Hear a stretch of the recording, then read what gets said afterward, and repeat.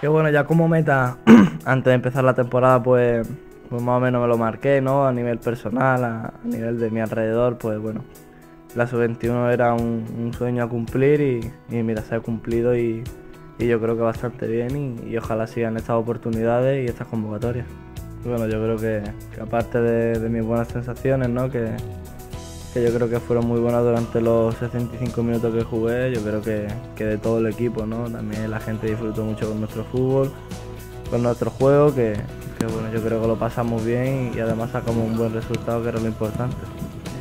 Sí, está claro que, queríamos empezar con victoria, ¿no? Y más de, bueno, la derrota que sufrimos contra, contra Bélgica, que, bueno, fue un poco inesperada, pero, pero bueno, nos hemos sabido sobreponer a esa situación y, sacar un buen resultado contra un, contra un gran equipo. Creo que también hay jugadores con los que, bueno, yo creo que particularmente también he compartido vestuario con muchos de aquí y, bueno, yo creo que sobre todo se vio un equipo con, ganas de ganar, ¿no?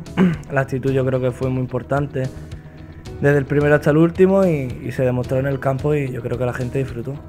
Está claro que sí, ¿no? Yo creo que, que han pasado muy buenas selecciones, muy buenos jugadores y, y bueno, nosotros no queremos ser menos, ¿no? Y, también queremos aportar nuestro granito de arena en, esta selección que es tan importante y, bueno, darlo todo en, las competiciones que vienen adelante.